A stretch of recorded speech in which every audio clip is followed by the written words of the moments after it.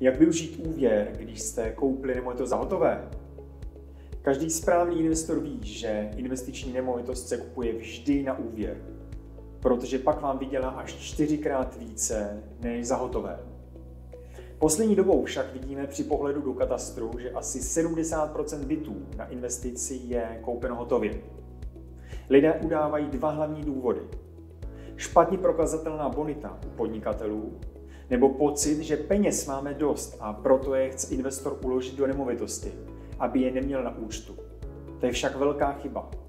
Pokud si koupíte jeden byt za hotové nebo pět bytů na hypotéku s 20% vlastním kapitálem, tak v čistém po odečtu nákladu na úvěr máte 3,8 krát větší výnos.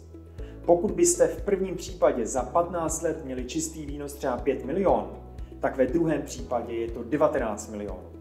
Koupili jste v minulosti nemovitost za hotové? Máte dvě možnosti. První je zpětné proplacení kupní ceny, pokud jste to koupili v posledních třech letech.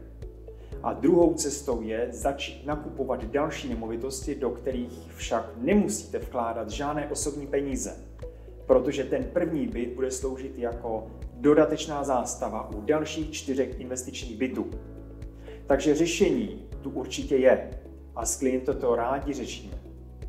Pokud vás zajímají investice do nemovitostí, podívejte se i na další videa na našem YouTube kanálu.